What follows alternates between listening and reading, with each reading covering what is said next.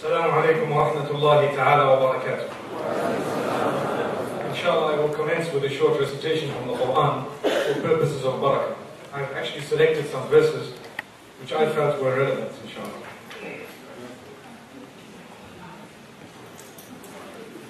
أعوذ بالله من الشيطان الرجيم بسم الله الرحمن الرحيم من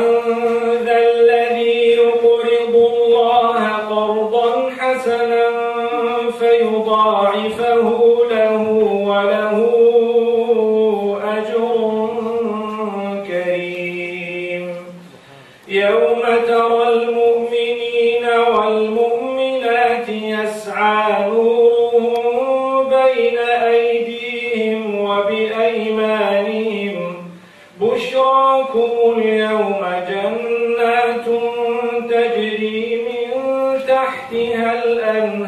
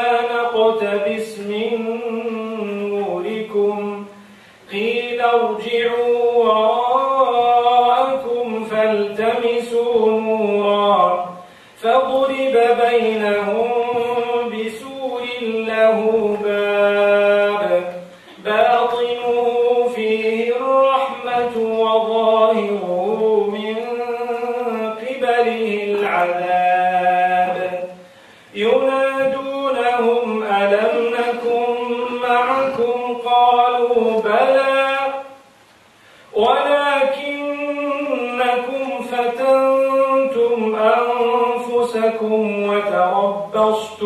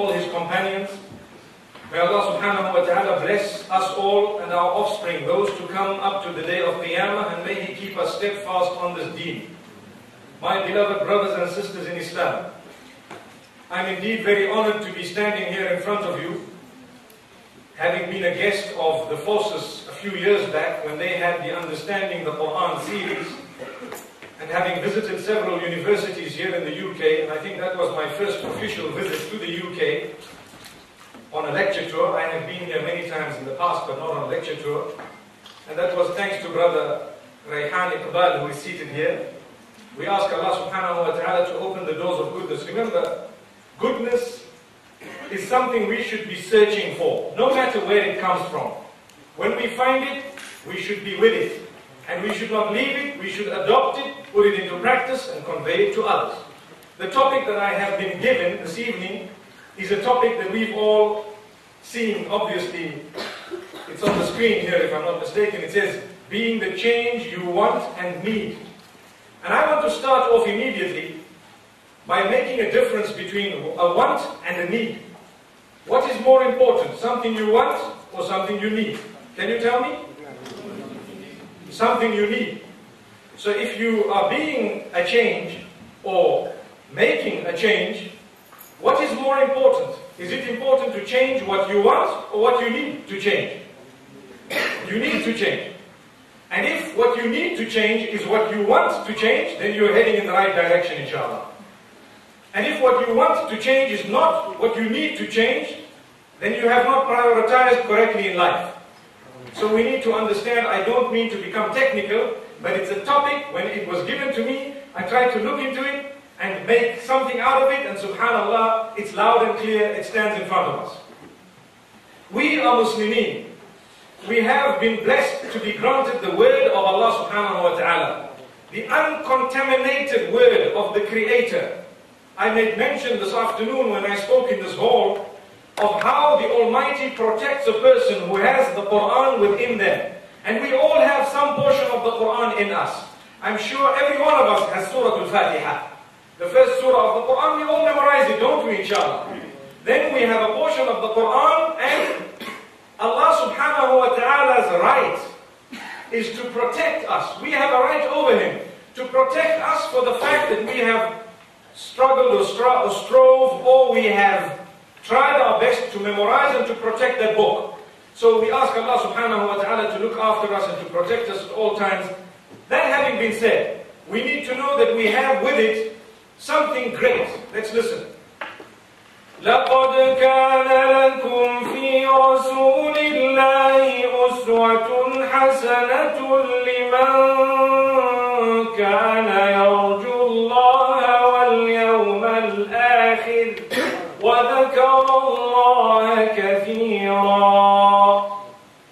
Indeed, for you, there is a shining example.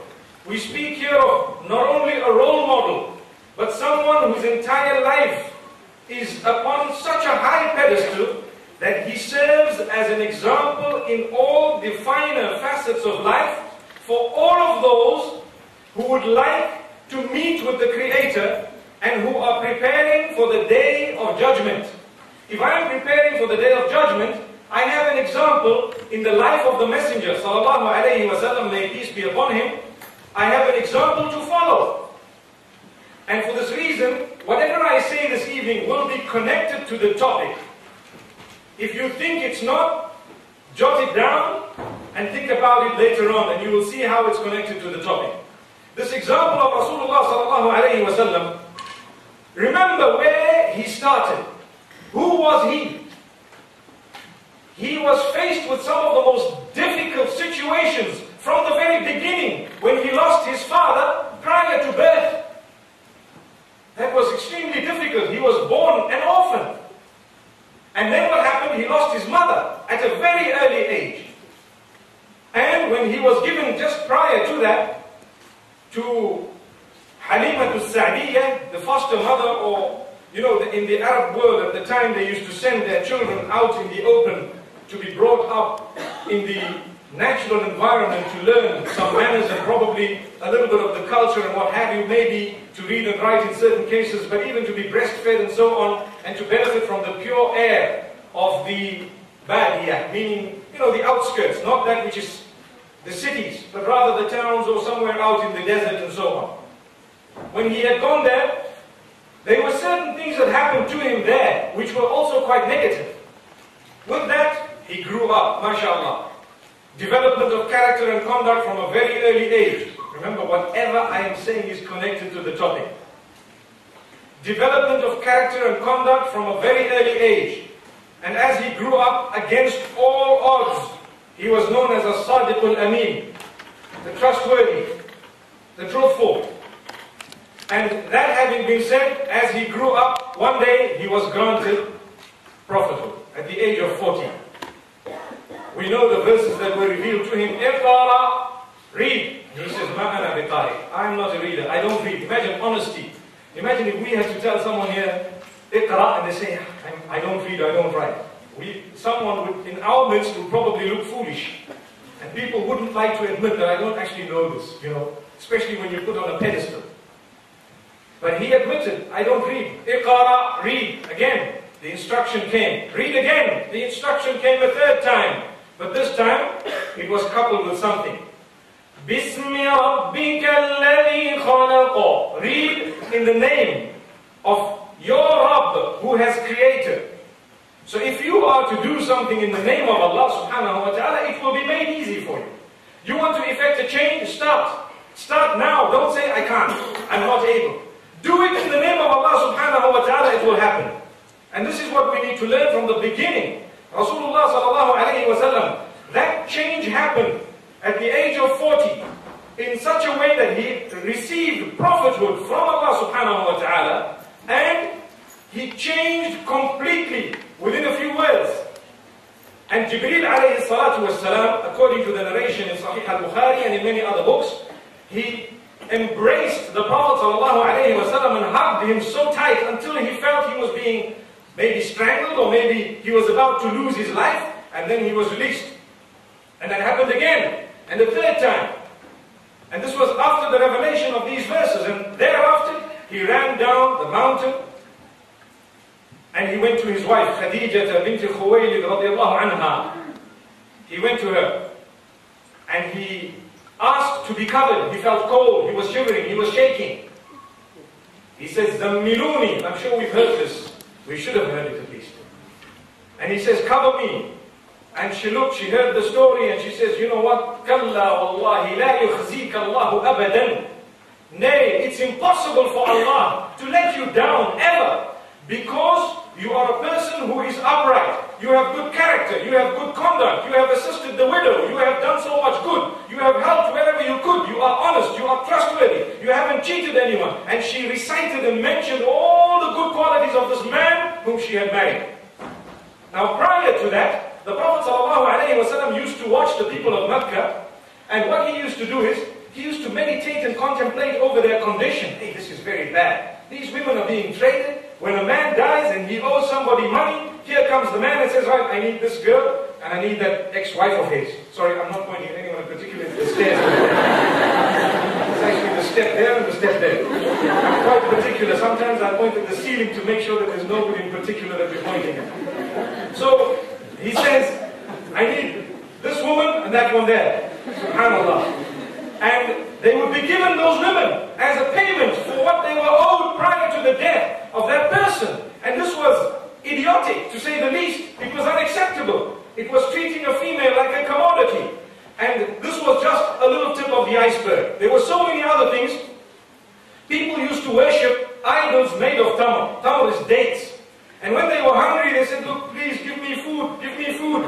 When there was no food, okay, I'm eating you. And they ate.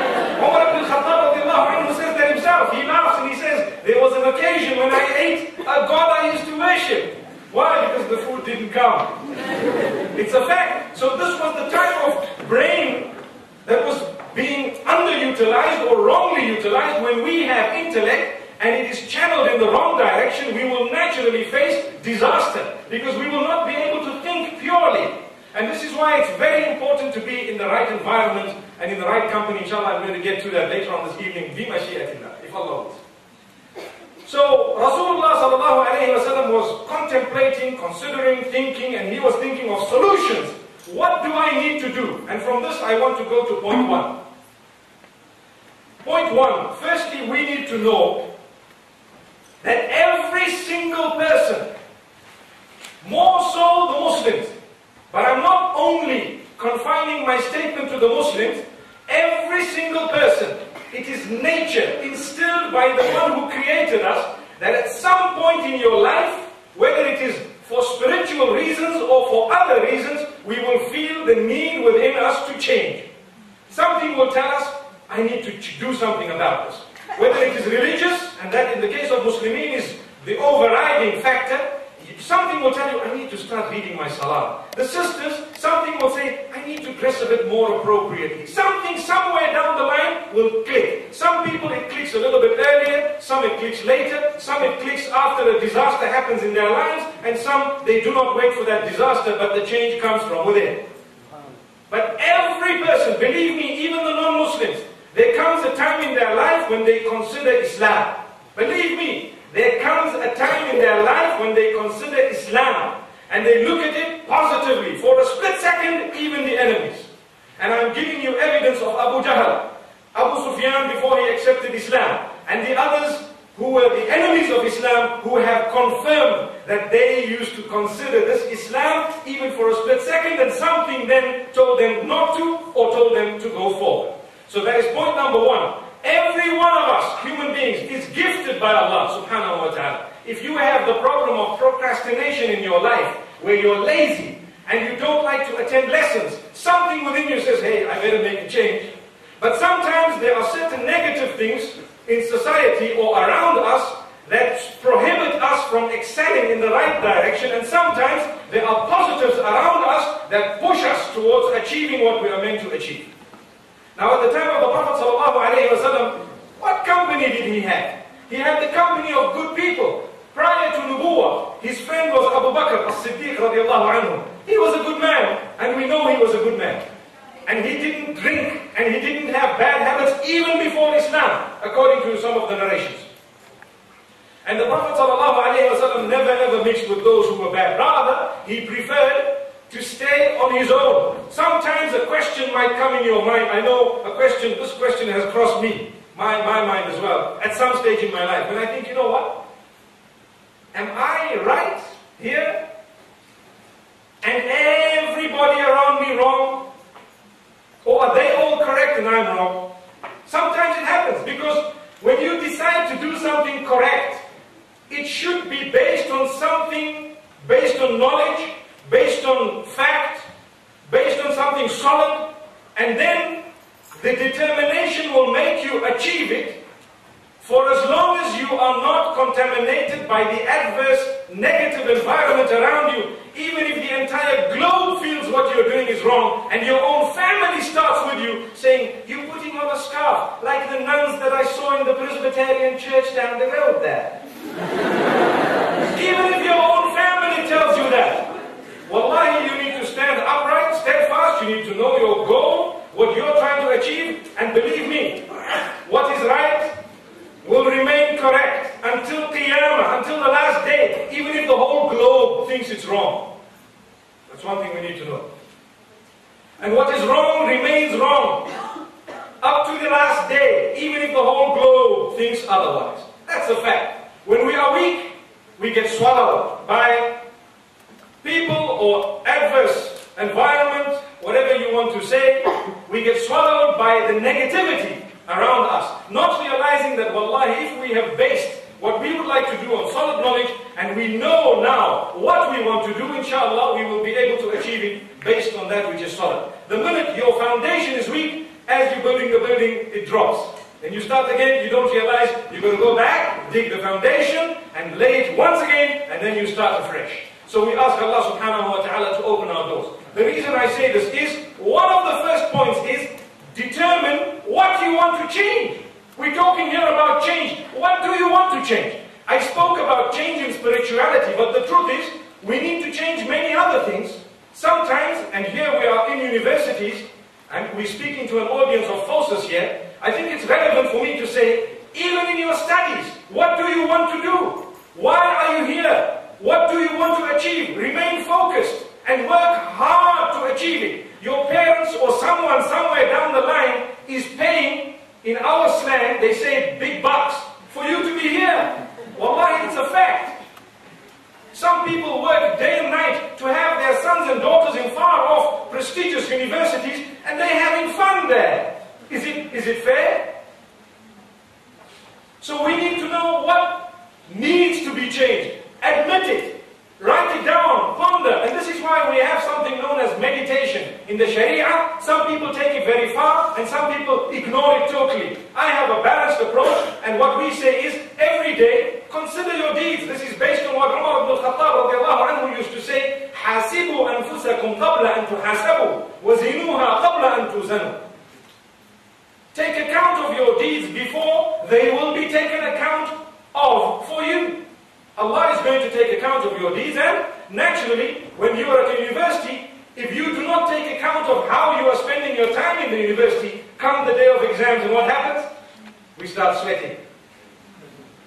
You know, we're all-nighters. You know what an all-nighter is? You don't study, you enjoy your life, and suddenly when exams come, we're popping in the pills and we're having the Red Bull. Now, Red Bull doesn't do anything, believe me. The taurine in there is synthetic. Makes it halal, to be honest. If it was not synthetic, we would be saying something else. But even with that synthetic taurine, the problem we have is it no longer has an effect. I know young boys here, I can see their faces, they probably have 12 and they're still asleep. MashaAllah. MashaAllah. Sorry, no offense, I'm also part of that. So the reality is, we need to know that that is not good enough. We need to take account of our deeds and we need weigh our deeds before they will be weighed for us and then we're embarrassed. Why is this the case? If you take account of your own deeds, there is always room for improvement and you will be able to, to keep away or keep at bay regret. But when, when something is taken account of for you, sometimes it might be too late. It might be too late. If you're committing a sin, for example, and that is a point I've jotted down for tonight. Sometimes we know what to change, and inshallah I'm going to get to the other points, but you have a sin that is being committed that blocks that change. It stops it. These are called mawana. It's a mana. It comes in between yourself and the achievement of what you want. And it stands in the middle and glares you in the face. So you need to now prioritize. Something you want and something you need. And you need to know, if I'm going for something I want, and it clashes with something I need, I'm wrong, I need to knock this thing out, and then I will achieve. Subhanallah. You need to breathe. Subhanallah. You need to breathe. But at the same time, you want to be underwater. Allahu Akbar. So you either need to go down with a mask, and you need to have an oxygen tank, and know the time and all that, make a plan and go down. Because you need to breathe. You prioritize. Or you simply don't go down. Or you practice the technique of keeping your breath for as long as you need to be underwater. There you are. That's an example of water. But in our lives, it's exactly the same example. I need a change. And there are certain things I want in life. Wallahi, let me be honest with you. I tell the brothers who, who love to go for polygamous relations, I have two wives, alhamdulillah. But I do not encourage it, nor do I discourage it. I say, if your situation, if it fits in it, you need to know your wants and your needs. And you need to make sure you are not blowing away a beautiful marriage solely because you want something. Allahu Akbar. I hope I've made myself clear here. You want something, it might be halal for you, you can go to the, to the moon explaining to people that it's halal and it's jais and it's this and it's in the Quran. MashaAllah, we agree with you. But you're the only one who can answer the question, is it a want or a need? And are you going to lose your need in the process of achieving a want? Allahu Akbar. I hope I've said it very clearly. And I, I, know the brothers are looking at me as though if they had eggs with them, I would be better. Allahu Akbar. Wallahi, my beloved brothers and sisters in Islam. We know of the crisis in the Muslim Ummah. We are also bleeding with the Ummah, all of us. But the truth has to be said sometimes as it is. And I think this is something that fits with the topic. And if you want to know if I planned to say this, the answer is no. It came to me a split moment before I actually said it. So, now let's get back to what we were saying. Rasulullah thereafter, he got this nubuwwah, he got the prophethood, and he got the encouragement of his wife. What that means is, once you identify what needs a change, you need to make sure you deal with like-minded people, or you go around the genuine people who can give you the proper advice and the real courage and the real support to achieve what you have to achieve in life, and to make that change that you need. So you need genuineness. So if, for example, you are deciding to elevate yourself spiritually, you need to be in the midst of those who are already elevated. And this is why I always say it's very important for you to have a role model in life. And not just one role model, because we have a role model who is supreme, who is the Prophet. He is a role model in every aspect of existence. But today, in our midst, we need role models. They will all be a role model for one department of my life. So in that department, I have this person as a role model. In this department, I have that one. In this department, I have that one. I will only take this from that one, and the others, I will excuse him or her because we're all human beings. Myself, for example, there might be some things you might take from me, and there might be other things you might not want to take from me. So there we are. We cannot have a single person whom we see and we say, you know what, this is my role model and that's it. Because sometimes they might give you advice that is detrimental because they have not excelled in every single field. The statement is very deep for those who want to understand. I know it's very late, but I told the brothers I have till 3 a.m. Alhamdulillah. That's why they kept me right at the end. So, if we know the Prophet ﷺ was supported by his wife, she then took him to Warqa bin Nawfal. What does that mean? We want to make a change, we know what it is, we know it has to come, we need to have the correct support, we need to learn about what is going on, what is happening. Education is extremely important. I touched on it moments ago to say you need to have the knowledge of what you want to achieve, what you want to change in your life. And I've told you, I do not want this to be a solely spiritual talk, but let's also put a flavor of the secular studies that we are engaging right now in it as well, because it's important. A lot of you are not from Cardiff. And I'd like to hope that when you go home after your studies, you would be superstars in whatever field you are. But that's only if you have a vision. That brings me to the next point. You need to always aim very high. Aim beyond the skies, and you will at least get to the clouds. Subhanallah. But if you aim to the cloud, you might jump a little bit higher than that table. yes. So aim very, very high and start jumping. Start jumping. And when you jump, initially you won't even know how to jump. Do not be embarrassed of your few mistakes. Never. If you are embarrassed of a few mistakes that you make in the process of achieving the change, you won't change. What's going to happen? Oh, I don't even know. You know, there's a young boy, I was standing with him, and I have a habit. You know, we give people the opportunity to, to, to recognize themselves, because that is also a point that I've jotted down for tonight, to recognize yourself. If you take a look at the Facebook status that I put whilst I was in the foyer down here later, earlier on in the afternoon, it's actually facebook.com slash muftimenk. the status is connected to this. You need to recognize yourself and never feel useless. The minute you feel useless, it's over. The game is over. You lead a depressed life. Everybody here is gifted. And believe me, in such a special way, you wouldn't even know. But search for it. Look, how am I gifted? And some are gifted in more than one way. Build on that, mashallah. Have people who can, around you, who can recognize that and who can help you build on it, subhanAllah. And this is why it's extremely important for us to know to know that if we want to change, what exactly do we want to change? How are we going to change it? And in order to achieve that, we need to have the education, we need to have the know-how of this thing. How am I going to achieve it? Put your head down and go and achieve it. The point I was making is, never be bogged down by a little mistake you've made. Get up. I was saying, I was in the midst, I was with a few boys and it was time for salah. They said, yeah, sheikh, yeah, sheikh, tfaddal, ya sheikh. You know. salah, ya sheikh. And I looked at one of the guys, you know, he had jeans on and a t-shirt on and so on, and I said, yes, sheikh. He said, nah.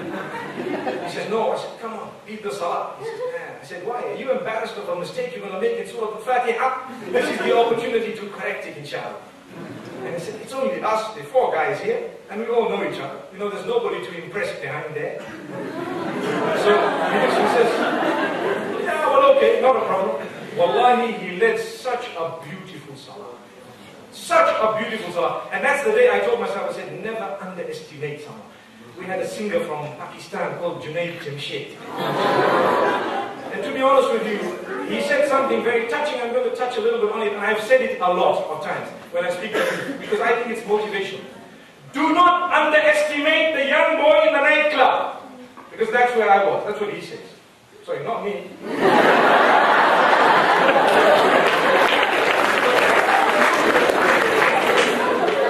and then he subhanAllah, never ever underestimate someone who's doing wrong things, you know, who's singing and he has bad habits or she and so on. Wallahi, that could be the champion of tomorrow. You never know.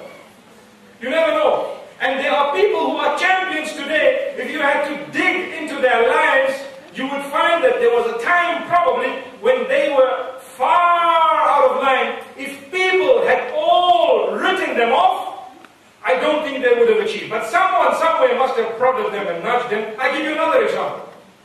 Two examples. The example of a cricketer, again a Pakistani cricketer. And he accepted Islam, I think his name is Yusuf.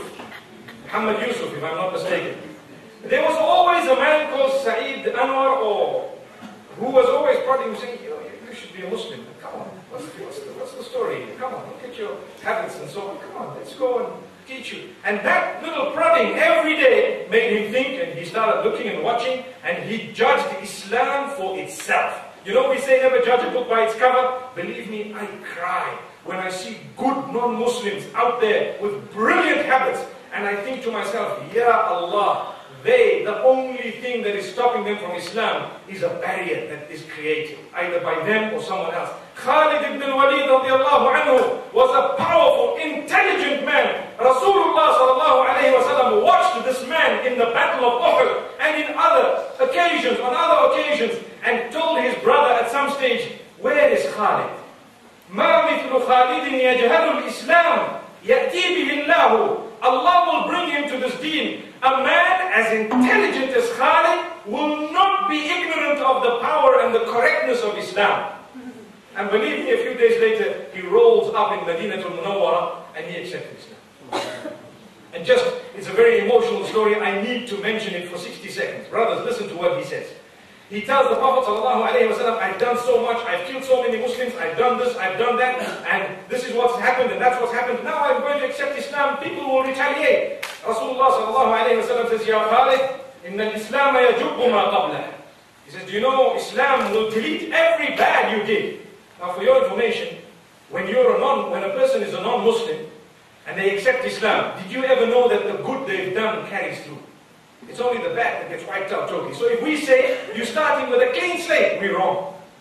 You're actually starting far ahead of all of us here because you're starting with no sins at all and all the good you did in your life is just carrying through. Wow, it's gone through. Allah does not waste your deeds. Someone might argue and say, I was not a Muslim and I was this and I was that. Believe me, what is deleted is that which is bad. There might be difference of opinion on this, but that's the opinion I agree with after studying what we've studied. Alhamdulillah.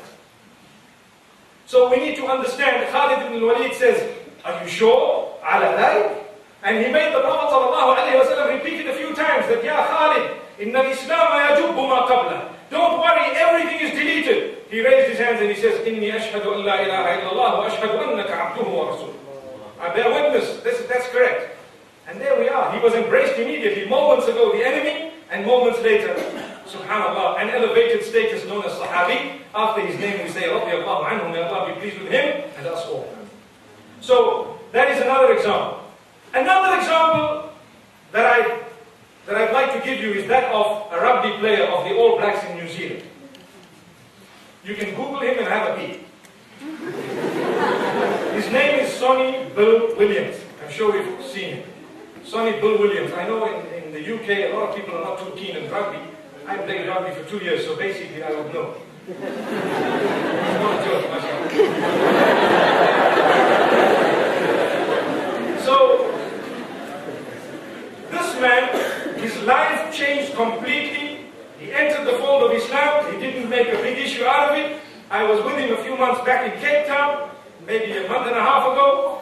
And mashallah, we sat for so long and we were talking about how we accepted Islam in a nutshell. Everybody at some stage gets fed up with their lives when their lives are heading in the wrong direction. It is fitrah, it is nature that Allah puts in your heart.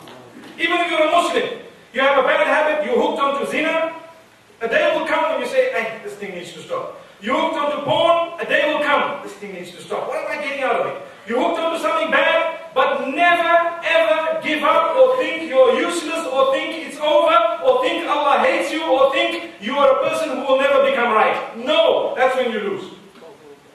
It's something you need to know. Allah loves you. That's why we seated here today. Wallahi, it's a fact. We need to change. The verses I read, Allahu Akbar. ألم يأن للذين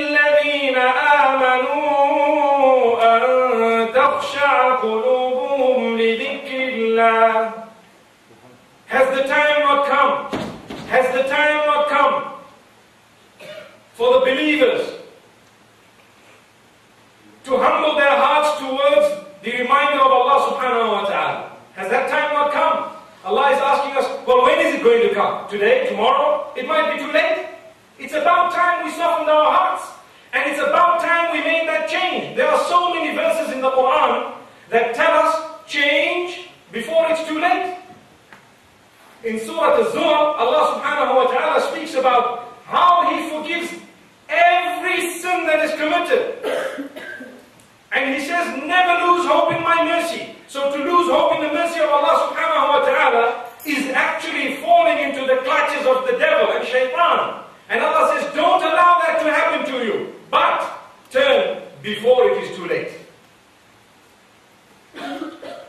قل يا عبادي الذين أسرفوا على أنفسهم لا تقنطوا من رحمة الله إن الله يغفر الذنوب جميعا إنه هو الغفور الرحيم. وأنيبوا إلى ربكم وأسلموا له من قبل أن يأتيكم العذاب تنصرون And the verse after that, Allah says, أن يأتيكم العذاب بغتة وأنتم لا تشعرون O Muhammad sallallahu alayhi wa sallam, go and tell all those of my worshippers who have transgressed against themselves, never to lose hope in my mercy, I will forgive all their sins. Allah forgives all the sins, for indeed, He is most forgiving, most merciful. But let them also know that they need to turn before a day comes. Suddenly they will be overtaken by the punishment and then they won't be assisted. Or suddenly death will overtake them or the punishment will overtake them and they wouldn't even have realized that this time has come.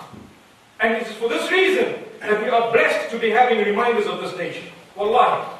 We are blessed to be having reminders of this nature. Once again, I'd like to make mention of the fact that not only in our spirituality, but even in our educational lives, remember, aim for the skies.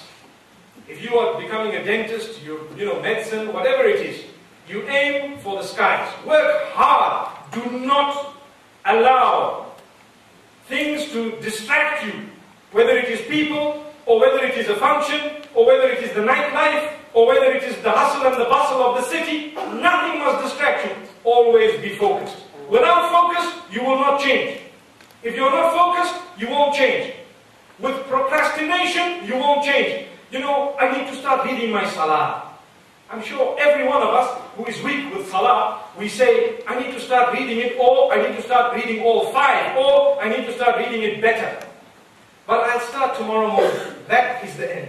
The minute you say, I will start tomorrow morning, it's over. Start now, get up, walk out and read your salah. MashaAllah. I see we are all reading our salah because nobody got up and walk out, walked out. it's important for us to know that when we want to change, when should we change? That's also a question. When? When does this change come in? That question has an answer made up of three letters. Now. N-O-W. Now. The change comes now. Anyone who has any other answer, there is no guarantee they will change. No guarantee. Because tomorrow, the force that is making you want to change today may not be there tomorrow. The spirituality, sometimes you have times and places that are more spiritual. Sometimes you are in the company of someone extremely spiritual. The Sahaba anhum, they changed like a fleet when they were in the right company and looked at him sallallahu alayhi wa sallam with the right eyes. You know, it took them one glance to be called Sahaba for as long as they believed. They were called Sahaba. As-Sahabatu kulluhum udul. We as Ahlul Sunnah wal Jama'ah believe that all the companions are on a pedestal of adal. They are all of a very high level of honesty and piety and integrity. Piety and integrity. All of them. So, what happened? Even those who saw the Prophet ﷺ in their lifetime, just a glimpse, they were known as Sahaba because of the power of the person that they were with. But then there were others like Abu Lahab and Abu Jahl. They lived with the Prophet ﷺ. They didn't even accept Islam. Do you know the reason? the reason is they looked at him with the wrong eyes. They had no sincerity. If they looked at him for one second with sincerity, it was enough to change them completely. But because they had jealousy, they had hatred, they had racism, they, they, they didn't want him They had this hierarchy business. They didn't want to give up their power. They didn't want to, all these things, so Allah kept them away. They didn't have sincerity. So we would also require sincerity when we want to change. That's another point. Without sincerity, the proper change will not come in. We will change for the wrong reasons. So what should we be changing for? Primarily, for the pleasure of the Almighty as Muslimin. And thereafter, to achieve something greater for the benefit of ourselves and those around us, including the non-Muslims Including the non-Muslims. And then inshallah we will be able to change in the right direction. Why I say including the non-Muslims is because no matter what we study, whether it is religious or secular, as Muslims we are taught that it is very selfish to keep it to yourself. The Prophet ﷺ says, بَلِّغُوا عَنِّي وَلَوْ آيَةً Convey from me even a little message, a short part of a verse that you know. Give it away. So you've learned it, you have it with you, don't keep it there. You give it to someone else, Muslim and non-Muslim. And you give it to them. The same applies. If you are, if you become, for example, a doctor, what will happen? You either come back to teach, you become a professor, or you go out to practice in the field. There will be from amongst your students or from amongst your, your patients those who are not Muslim. The way you dish out what you've learned at varsity out to them will determine their whole outlook towards Islam.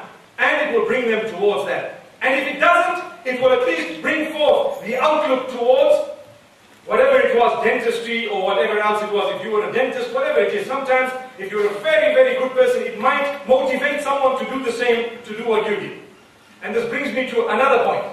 There is a stage in our lives when we need role models, yes, every day. This one is my role model, and that one, and that one, and I compartmentalized it for you moment, moments ago. But I'd like to say that there comes a stage when you are going to have to ask yourself a question. It's no longer who I want to be like.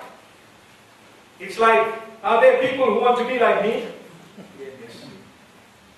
You now need to become a role model for others. And my dear sisters, if, if some of you, I'm sure you might already have some children, some, but the bulk of you are probably students who are not even married. The day you marry and have a child, believe me, it is a God-sent child who already looks up to you as a role model from day one. You are, in their eyes, in that initial stage, infallible. In their eyes. You are the mom. You know, on a very, very light note. They say when you look up to your dad when you're young, that dad makes no mistakes, nothing at all. And ten years down the line, you down the line, you hear him burp, mashallah, loud. That my dad? Wow. For your information, I've given the better example, mashallah.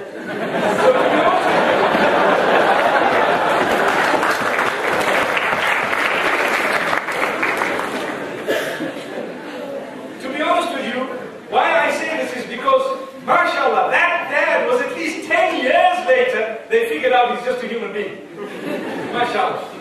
The reason I say this is how many dads are actually living like proper role models and they have children who follow them in their cigarettes, in their ways, in their habits, and in their F's and B's. That doesn't stand for faces and books. so we need to know this. That they watch us and they see us.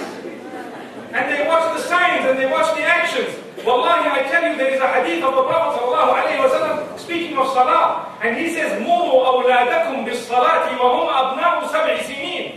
You instruct your children to fulfill the salah when they are of the age of seven. When they are of the age of seven. And what this would mean is, prior to seven, it is not the sunnah to instruct your child to read salah, but it does not mean that your child should not be reading salah, rather that child should be looking at you and following by example. Which means when the child is one year old and they see the mom going in sujood, they will fight to get into sujood. Your little daughter will fight to put on the scarf, but you've never spoken to them. Ma'am, I need one like yours. Dad, where's my pen? Wallahi, Wallahi, I tell you. My son tells me, let's go to the shop and buy one. Wallahi, it's a fact. So, but nobody ever spoke to him about a beard. Nobody spoke to my daughter or anyone else's about a scarf now, at that age, they want it because that is the power. You have been made into an automatic role model. By the time you have children, make sure that you have that quality. Inshallah. And this is why we say, yes, we do have role models at this stage, and we will always have role models, but there comes a time when you have to become a role model. Now, let's get to a few other points. I know I'm probably running out of time, but to be very honest with you, you are going to have to forgive me today. All these notes, all these notes to be very honest with you, will have to be excused.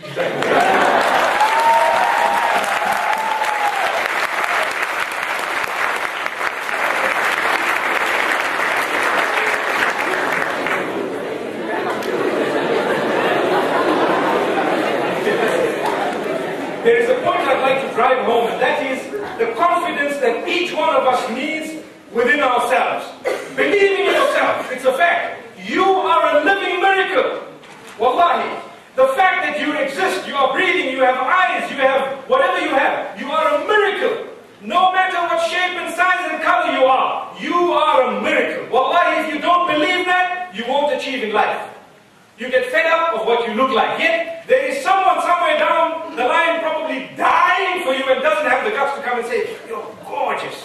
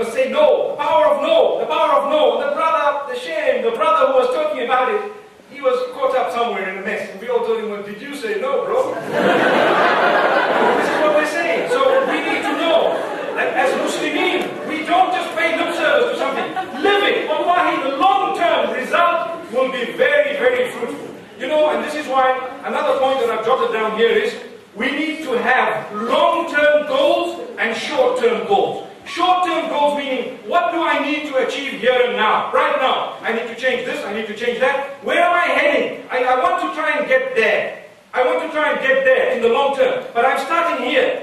And these short-term goals need to be very, very practical. Because sometimes, do you know what happens? And this is a fact. Our goals in life are so far and unachievable that we become depressed trying to get something that's really beyond our means. So rather, small things, you know, I'm going to try inshallah to read my fard, salah, five times a day. Just the fard. Now that's something very close and reach. So now your salah, you read it and that's it. You know, I've faced a lot of places where, I've been to a lot of places where it's challenging to read your salah. But wallahi, where there is a will, there is a way.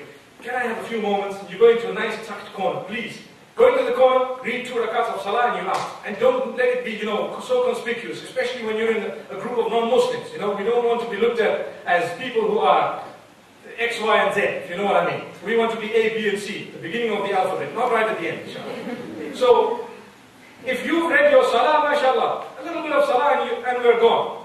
But if we say, ah, how am I going to do it here? You know, what's going to happen over? Wallahi, there might be some non-Muslims. I give you an example of what happened to me in Zurich at the airport.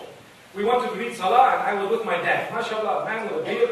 You know, we, I was also actually looking just what I look like now. and they asked for a little place and we were reading our Salah and we didn't even ponder for a moment why, uh, you know, that, oh, there's a lot of people passing. We found a nice corner, put our bags and we started reading Salah. Believe me, there were at least about 10 to 15 people who had stopped and waited and watching. And a lot of them were women.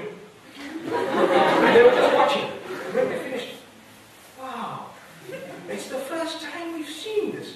It looks so serene. oh, well, what is that? Well, that's the prayer of Islam. It's the only position that I can actually have got into my brain is lower than my heart, so the oxygenated blood actually gets there so quick, so that when I get up, I can think. you know, we need to have not just typical, it's in the Quran, to read five times a day and that's it. Well, why they don't believe in the Quran? They have nothing to do with it, and that's such an abrupt answer. And that brings me to another point. We will not be able to achieve correct change if we haven't changed our character and conduct correctly.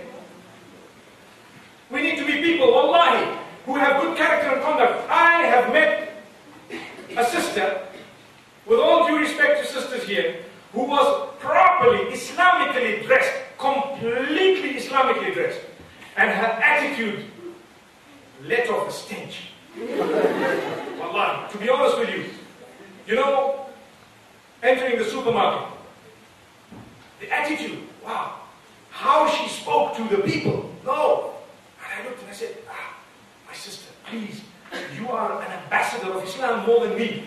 Whatever you say here gives the picture of Islam to all these people. If you want to change yourself and others, this is not the way. Allahu Akbar. Please. She looked at me and she knew me. She says, You're not supposed to be talking to me like this. there you are. Typical. And I, I went away without, well, I achieved whatever I wanted to, but whether it affected her there or later, I don't know. But what I mean is, it developed. You know, we don't hate people, but we hate the actions of the people. We don't hate a drunkard, but we hate the drinking in him. If we get rid of that, mashallah, he might be a brilliant man. We don't hate a man of drugs, but we hate the drugs that he's on. Mashallah. I hope you understand what we're saying. You know, we need to distinguish and separate between the person and the habit. Because, and I, I said this in a lecture, when was it? Today? Yesterday? Last night? In Brighton? I, I, I've even forgotten where I spoke and what I said. But anyway, the truth is, what I did say, we were speaking about how important it is not to hate a person solely because of their habit, but you hate the habit. Because who doesn't have a bad habit? Put up your hand. Well, maybe that hand didn't have a bad habit. so the truth is, we all have some bad habits. Some are minor and some are major. If we were taught to hate people because of their bad habits, none of us would have been here because we'd be hating each other. Common sense, logic. So when we want to change, we can change one thing at a time or we can change a few things, but we will never be able to change absolutely everything. And this is why life is a challenge. I always say, the sisters, the brothers, as you develop in life, you come closer and closer to the Almighty, you get to know more and more, and you become higher and higher in your field secularly as well as Islamically, until you meet Allah subhanahu wa ta'ala upon the best condition. And this is what we need. So now, in order to round up, inshallah, I'd just like to mention a few points. Uh, firstly, we need to interact a lot with the right people. Interaction is very important, and let's just not close ourselves and, you know, cocoon ourselves into a little corner because to mix, to air our views is very important. To say what you feel is correct on condition that you substantiate it respectfully with that which is correct. Because someone says, look, I don't agree. That is a very, very, should I say, let me try and choose a good word. It's a very stubborn statement. I don't agree. But if you mention, you know, brother, let me tell you, if you do it this way, I think this is what will happen. And if you do it that way, possibly that's what will happen. They say, oh yeah, that's right. You know, it's like dealing with a person who, who's suffering from a, psycho, a psychological disease, maybe schizophrenia or something. If you use the word no with them, they might pounce at you. You can't use the word no. So you use the word yes. He says, I want to kill that guy. So, yeah, good idea. but, but I tell you what, why don't you leave that for tomorrow morning when the sun comes out? You know? He says, oh yeah, it will be brighter, you'll be able to see. We're just talking a whole lot of nonsense. We want to buy time. Now, by the time he said, yeah, because you're on his side. See? Now when you're on his side, and I'm speaking facts, this is how you operate with these type of people. Between now and tomorrow, you've got a mission to convince him not to do. But without using the word no. So then you've got to go and say, you know what? if anything goes wrong, it's going to be really disastrous. So why don't we just try and talk to him and get him onto our side? He'll be our man. He will? Yeah, he will. Okay, let's go and do it.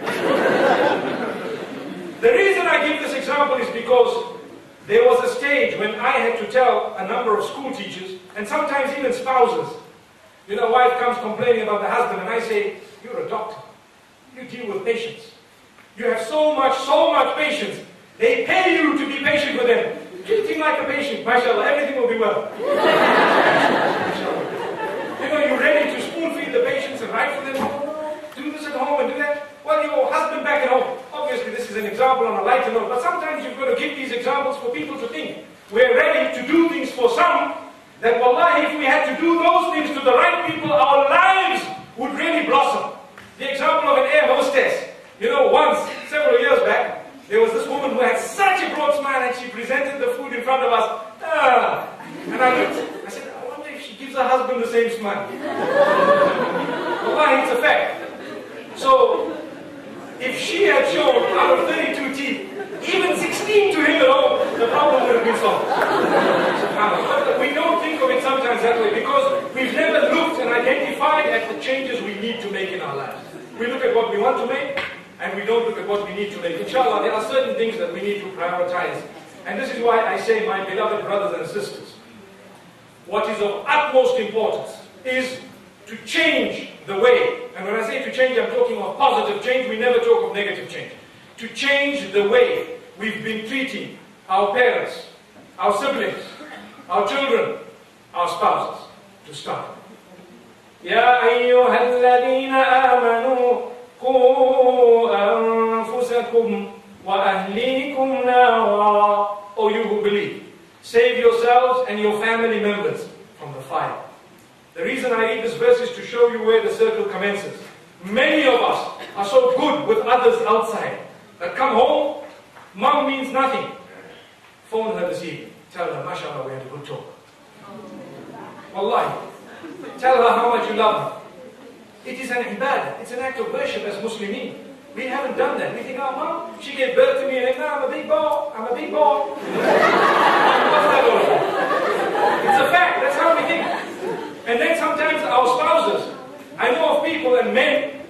I know of men, subhanallah, who are so good to the ladies. I said, ah, sorry, you dropped that. Can I carry it? and go home and say, maybe make up. That's it. What's that? So we are so good to where we're not, I'm not saying not meant to be good, but we've changed what we want to change, but we haven't changed what we need to change. There we are. And the same applies to our children. Sometimes we're so good with other people's children, and comes to our kids, come to our kids, we, we busy reprimanding them in an unacceptable manner. It happens. And this is why I had to make mention of our parents, our siblings, siblings meaning brothers and sisters. Wallahi, it's not worth keeping that little rivalry that was there from the young age. No, cut it. Phone them and say, you know what? I don't want to tell you anything. I just want to say, I love you. You're a part of me. Salam alaikum. Wallahi. That's a change. That's how you start the change. It will make them think they might not sleep that night. Wallahi, it's a fact. What happened? They died you back at 3 in the morning. Was that you? I'm trying to give you some practical lessons to show you how a change starts and never ever let your pride stop. Sometimes the change is waiting. You know, like the signs of Qiyamah, I was speaking about the signs of Qiyamah on, on a program on Channel Islam a few days ago, and I spoke about how the hadith of the Prophet he says there is a, like a string with all these, you know, like a necklace, and as it's broken, everything comes down. Everything comes down. MashaAllah. One after the other, all the beads drop. Sometimes we need to know that our chain of change is sealed. You need to open it up and let it drop out. And sometimes that is just because we were too proud to say, I'm sorry. It was my mistake. It was my mistake, I'm sorry. Even if it wasn't my mistake, what am I losing by saying, you know what, I'm sorry. I apologize. I really am sorry. Because we cannot continue in life holding baggage that is unnecessary. I give the example of baggage on a plane. We make sure, going to London, 23 kgs. Weigh five, six times. Are you sure? Okay, take that book out. Okay, the other book out. Okay, 22 and a half. That's fine, let's go. And we're not worried about the other weights which we're holding in our hearts, which are bogging us down from the plane that is going to take us into Jannah. We need to change that. And this is why the last point that I'd like to raise, remember I've given in fact, I thought of something. You know, it said 10 minutes, and now it says 7 minutes. If that was 3 minutes, then mashallah, the session would